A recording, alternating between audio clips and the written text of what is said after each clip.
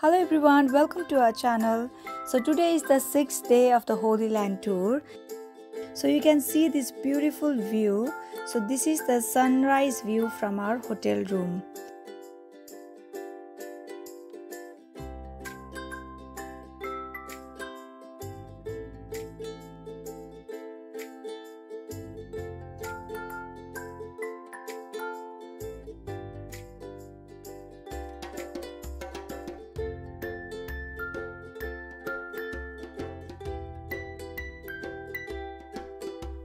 Since we visited so many places, so let's see some of the highlights.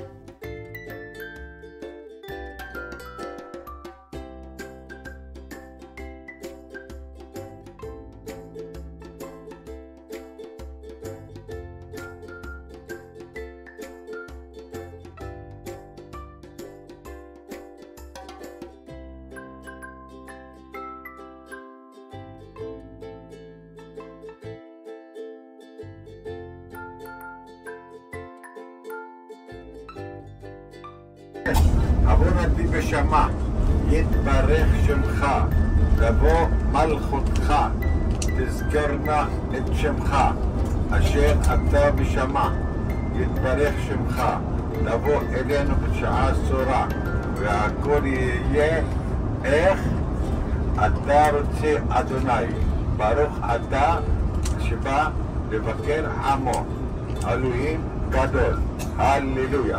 Amen. הללויה. אבינו אשר בשמיים, יתברך שמך, תבוא language. יתקדש שמך, אלוהים גדול, שבא לבקר את עמו, בגלל לבקר את עמו בשביל להוציא את, ה, את הרעה מצורך, שיתברך שמך, ברוך קדוש אתה, אלוהים. So the first place we visited was Ein Karem, which is the birthplace of John the Baptist. At the entrance of the gate only we saw one Korean group. So they already visited the place and they were returning. So now we are going inside the church.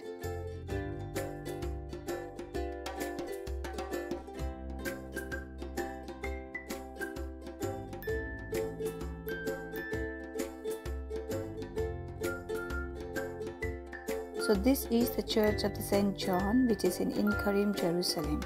So on the walls you can see so many prayers. Actually, all these are the same prayers written in different languages of the world. Ein Karem is a charming hillside village famed for its centuries-old holy sites. These include the Church of St. John the Baptist, containing a cave said to be the St. John's birthplace. The word Ein Karem is even mentioned in Bible, Jeremiah chapter 6 verse 1 and Nehemiah chapter 3 verse 14. Zechariah, where was he living with Elizabeth, Elizabeth, and here the birthplace of John the Baptist. Normally, when Zechariah entered to the holy of the holies of the temple, over there he was appeared by the angel. He going to have a child, yes, through relationship between man and woman, but he doesn't believe her, Zechariah, because he was old person, and Elizabeth she was old woman. But by the grace of God, Yes, when he visited his population by the angel, he gave her the possibility to have the son, and no can talking till the son born, and wants to call him John. Yes, and this is happening relationship and was birthplace of John the Baptist in this area. Hallelujah. So let's go and see a small cave inside the church.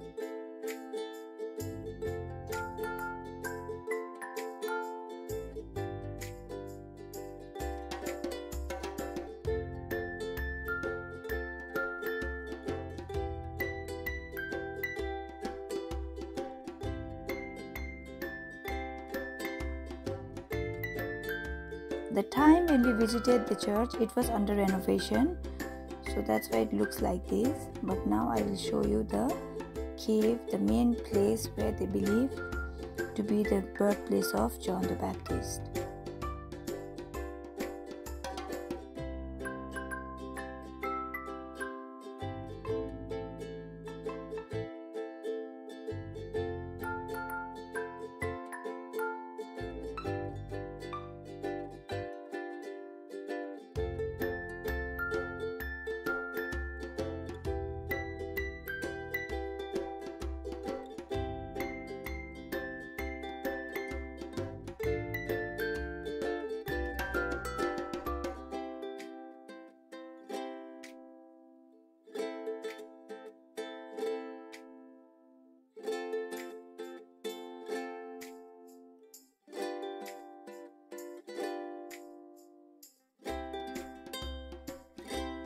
After this, we are going to Bethany, which is the hometown of Mary, Martha, and Lazarus.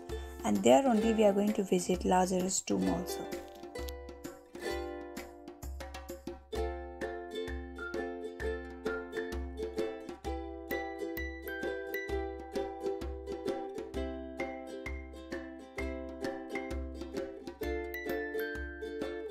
So now we are going towards the church where they built church in memory of Mary, Lazarus and Martha.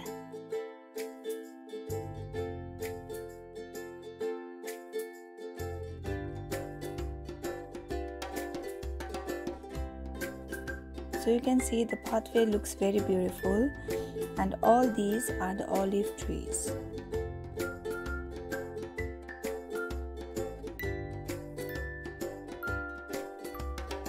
finally we reached the place so you can see here all these are the stones which they preserved and kept here.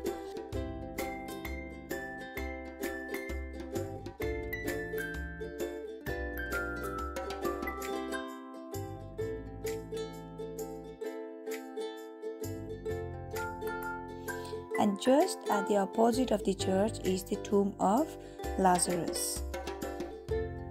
But on top of that you can see there is a mosque. So at the ground floor is the tomb of lazarus. So we are going to visit that tomb also.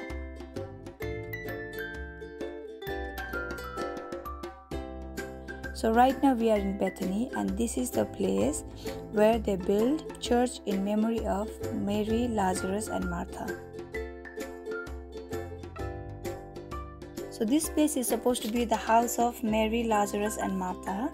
And in this household of Bethany, the Lord Jesus Christ experienced the family spirit and friendship.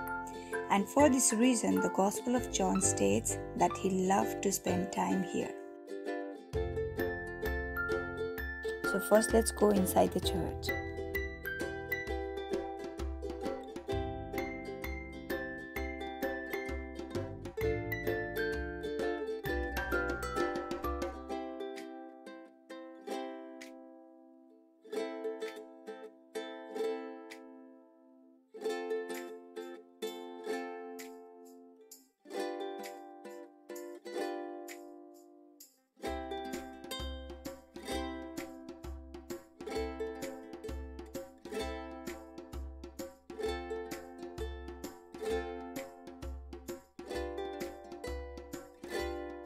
So here you can see many small small patches which is of mosaic floors and they have just preserved all these things.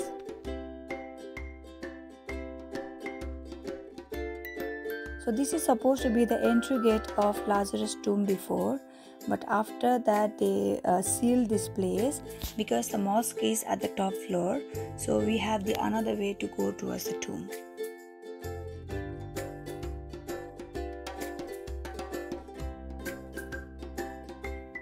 So here they have kept map together with the information of the first church, second church and the third church which they built in different centuries. So this is the first church.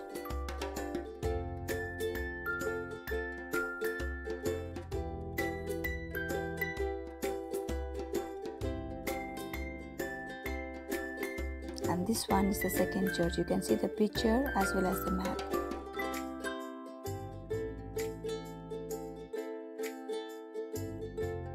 they have preserved this mosaic floor of the second church.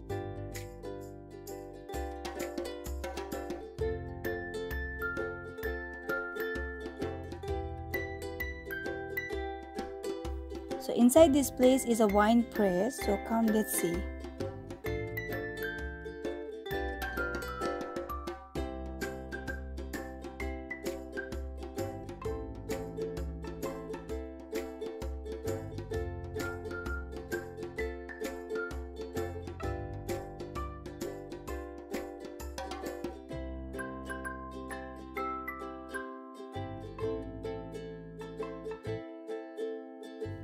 A wine press is a device used to extract juice from crushed grapes during winemaking.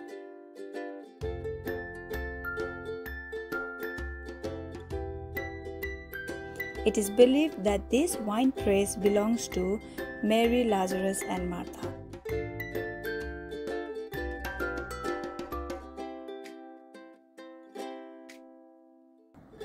So after this you can see we are going to the tomb of Lazarus. Uh, this is what I was telling you that we are actually on the Mount of Olives, and we came to the other side where Jesus ascended on from the on from the Mount of Olives, and we are on this side. And this side and that side, this is a Palestinian area. See the wall over there on the top? See the wall?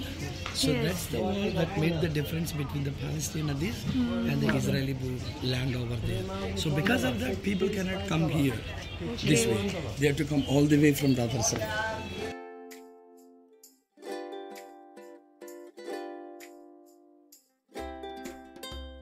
So now we are going inside the tomb of Lazarus, and the steps are very steep and very narrow. So you can see the tomb is the purported site of the miracle recorded in the Gospel of John, in which Jesus raised Lazarus from the dead. The site, sacred to both Christian and Muslim, has been identified as the tomb of the Gospel account since at least the 4th century AD.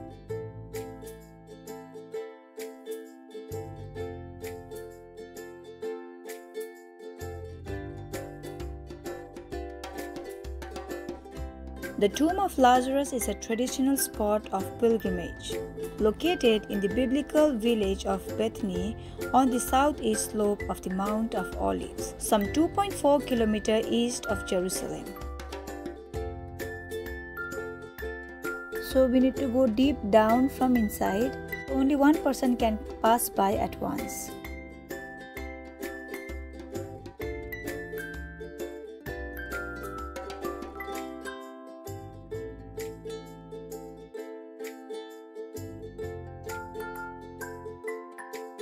After visiting the tomb of Lazarus, now we are heading towards Jericho and we will also visit the Mount of Temptation where Jesus was tempted.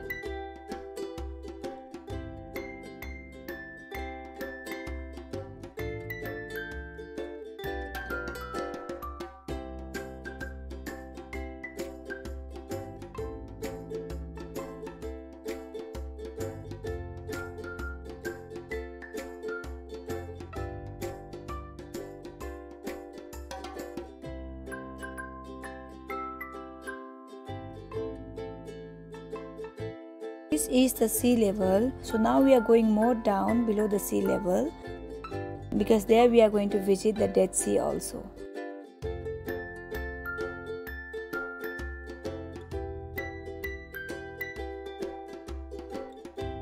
When Jesus tells the well known parable of the Good Samaritan, he situates it on the road to Jericho.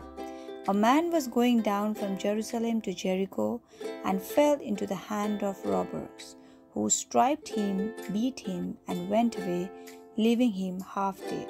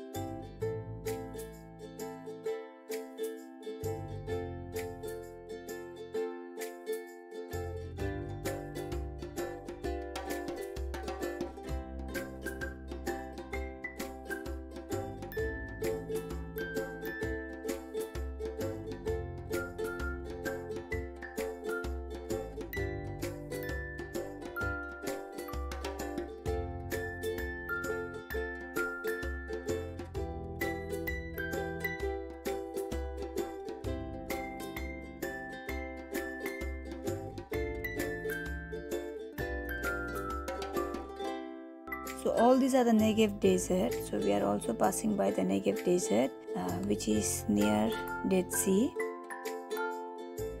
Negev word is derived from the Hebrew root dry land. So due to the irrigation facility, you can see greeneries even in the desert. The Negev Desert is located in modern day Israel, expanding nearly 4,700 square miles in the small country. It is a semi desert region of southern Israel.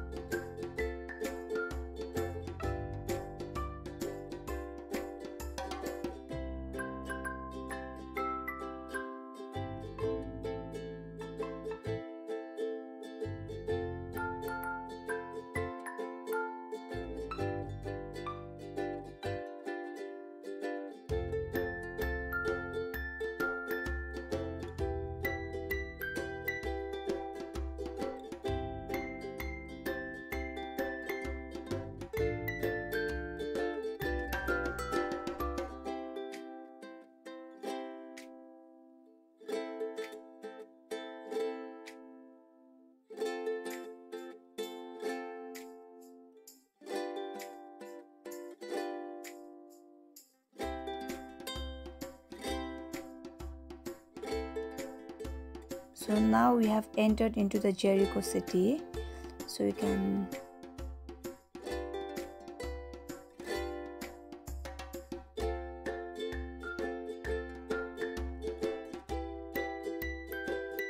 see Jericho, the oldest city in the world, 10,000 years. So now we will visit the Mount of Temptation, but we'll not go at the top of the mount, but we'll just see from the Jericho city.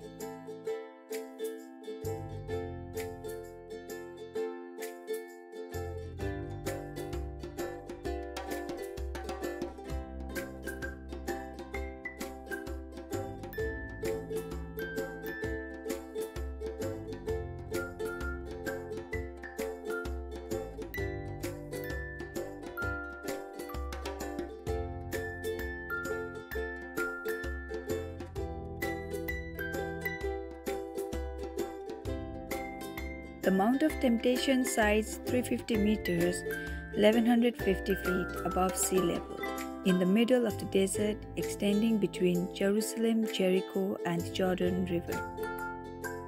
Its name refers to the time Jesus allegedly went off to a mountain to pray and was tempted by the devil. We can see the temptation of Jesus in the book of Matthew, chapter 4, verse 1 to 11.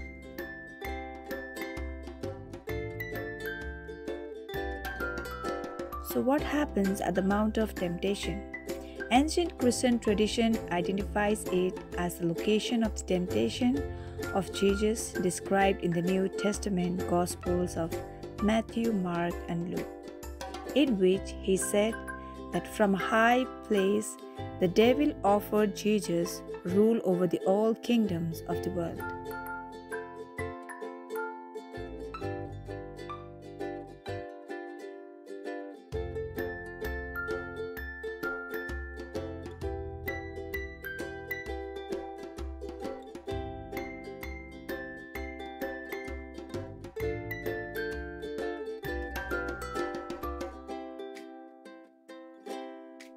So, after seeing the site of Mount of Temptation from the Jericho city, now we are going for lunch.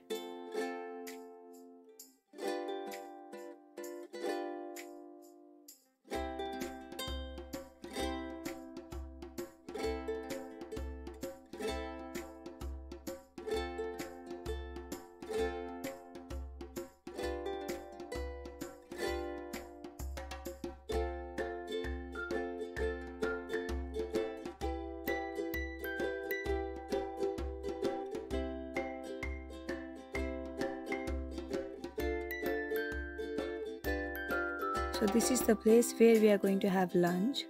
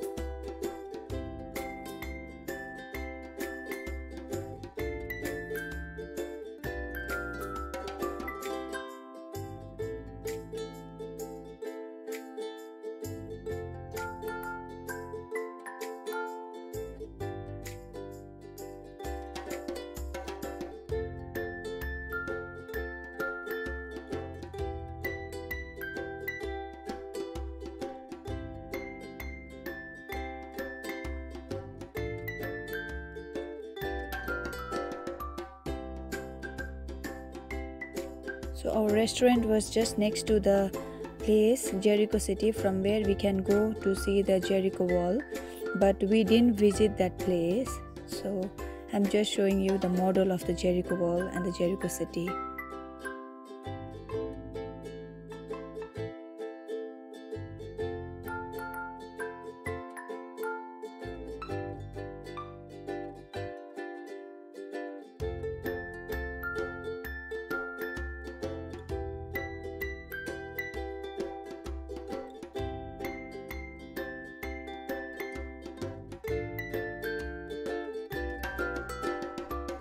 So this is the model they made of the Jericho city and the walls.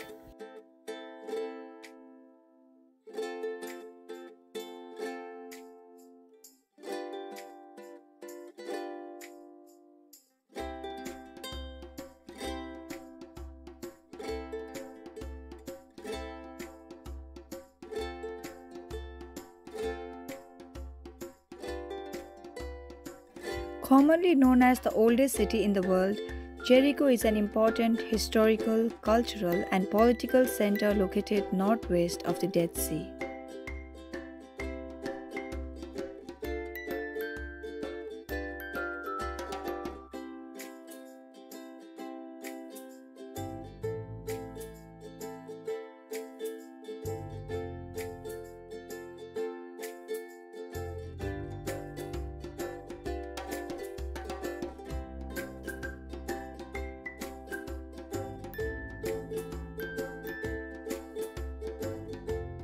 The city is perhaps best known from the biblical history of a great victory over its Canaanite citizens by the Israelite leader Joshua.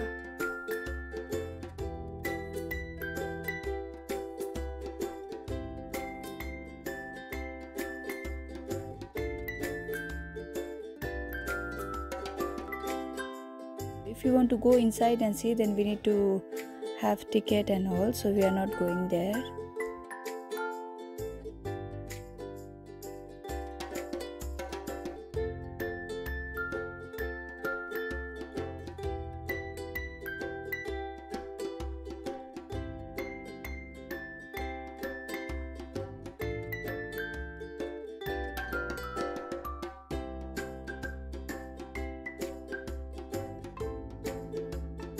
And there is also an option for cable car.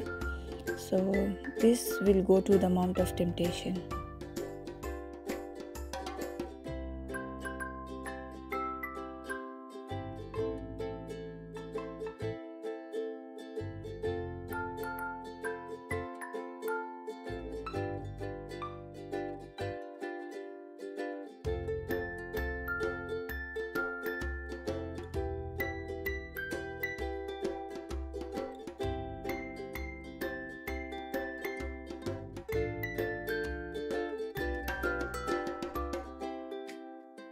Dead Sea, also known by other names, is a salt lake bordered by Jordan to the east and the West Bank and Israel to the west. It lies in the Jordan Rift Valley and its main tributary is the Jordan River.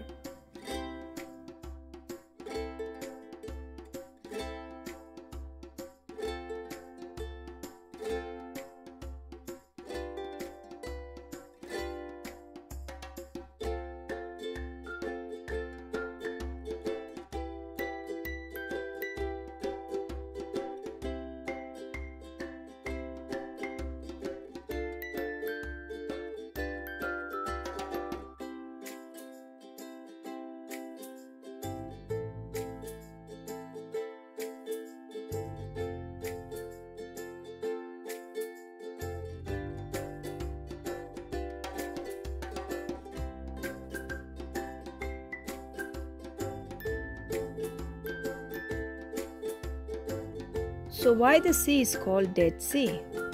It is because of its high salinity, means no microscopic aquatic organisms such as fish or water plants can live in it.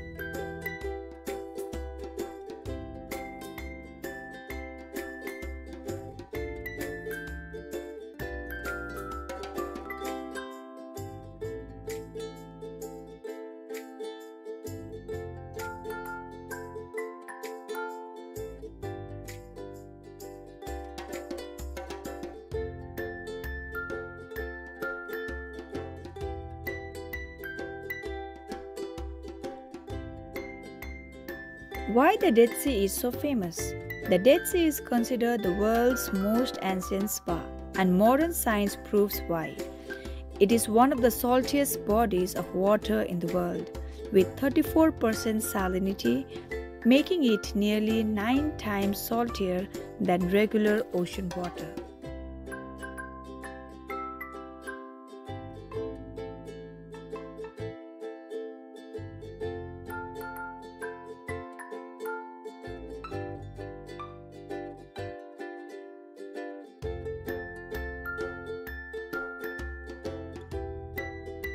Sea mud is also considered a great medicine for the skin. So you can see some of them applying over their bodies.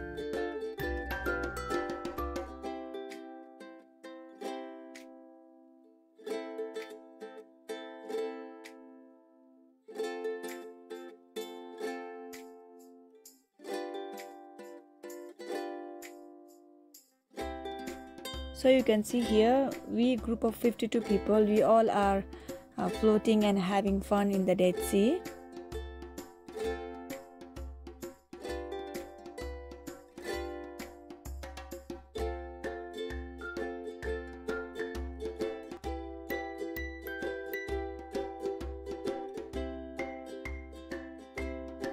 How long can we swim in the Dead Sea? The high salt content will burn if it gets into the eyes. The recommended amount of time to float in the Dead Sea is 20 minutes or less.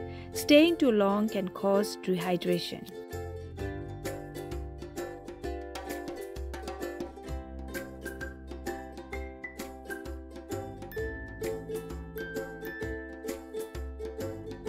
And after floating for less than 15 minutes, take shower also here.